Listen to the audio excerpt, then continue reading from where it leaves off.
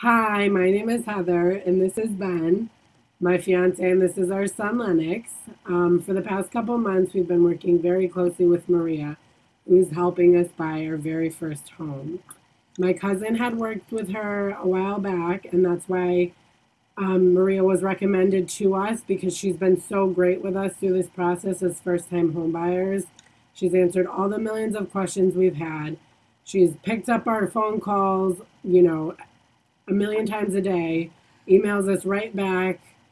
She's been totally honest with us the whole time about our expectations, the locations of the home, what to, you know, ask, what kind of questions to ask the inspector, and different things like that. She recommended a really great financial company to work with for our mortgage. She's just been so great to work with. Um, and I, you know, I feel totally comfortable now, even though buying a home is such a stressful and scary, scary process. Maria has really, really made us confident this whole time.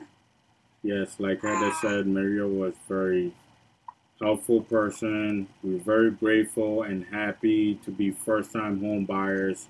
The experience has been wonderful and happy for us as a family and happy as a whole um, journey. The journey has been nice and we we so excited and happy to move in when the day comes.